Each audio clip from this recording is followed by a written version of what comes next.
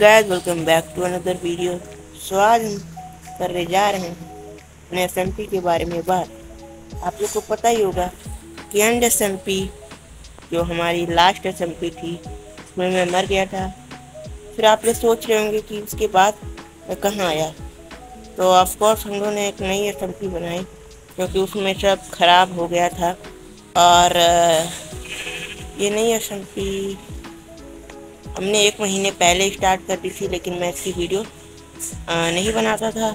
Last S में मतलब and S में काफ़ी ज़्यादा डिस्ट्रक्शन हो गया था और काफ़ी ज़्यादा चीटिंग हुई थी उस एस में, जिसकी वजह से हमें ये एस को बंद करना पड़ा। तो ये हमारा टाउन हॉल है और ये हमारा एस फार्म है। ये हमारा नज़र पोर्टल है और यहाँ पे हमारा आयरन फार्म है, पता है?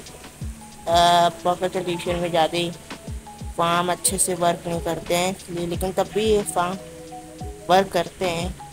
और यहाँ पे मेरा पुराना घर आप लोग देख सकते हैं, जो कि किसी ने तोड़ दिया था, पता नहीं कौन तोड़ देता है। और यहाँ से पूरी लकड़ी चुरा चुरा के ले गया है, पता नहीं कौन। और ये है ओनर का घर। मतलब फैब गेमर प्लेस का घर no permission no entry without permission और यहाँ पे उसके दो, तीन डॉग्स हैं।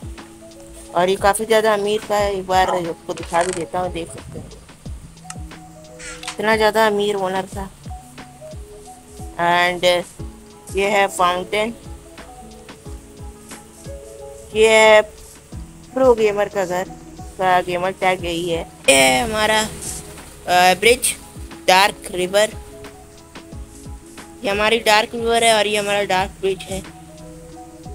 और फार्म एंड रोहन हाउस जो कि इधर की साइड पड़ता है।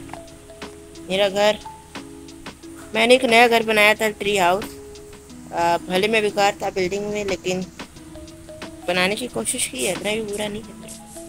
जैसे कि आप देख सकते हैं, और यहाँ पे है हमारा ट्राइडेंट फार्म बहुत ज़्यादा बड़ा है और काम भी करता है, बहुत बढ़िया।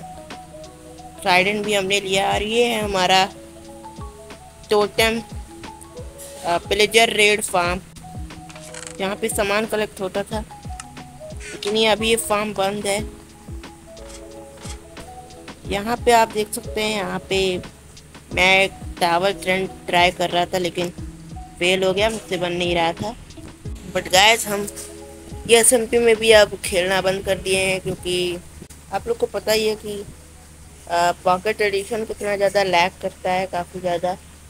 तो हम लोग ने जावा में शिफ्ट किया और अब सब हम जावा में खेलते हैं और ये हमारा डार्क एस का सीज़न वन था। और मैं आपको बताना चाहता हूँ कि सीज़न डार्क एस का सीज़न टू की वीडियो आप लोग को मिलने वाली है। कुछ सिनेमैटिक शॉट्स में आपको डार्क किस्म की सीज़न टू की दिखा देता हूँ।